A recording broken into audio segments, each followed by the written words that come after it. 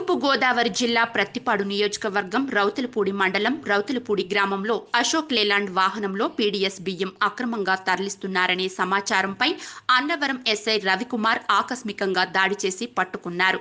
AP three nine TJ two eight two six వాహనంలో అరవై ఐదు బ్యాగులతో కూడిన మూడు వేల రెండు వందల యాభై కేజీలు పీడీఎస్ బియ్యాన్ని పోలీసులు స్వాధీనం చేసుకున్నారు.